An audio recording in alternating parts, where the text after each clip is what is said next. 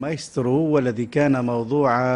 150 مذكرة بحث على الصعيد الوطني بتهمة الاتجار في المخدرات القوية بمدينة طنجة ونواحيها حيث كان يتحرك بأسماء مستعارة للإفلات من المراقبة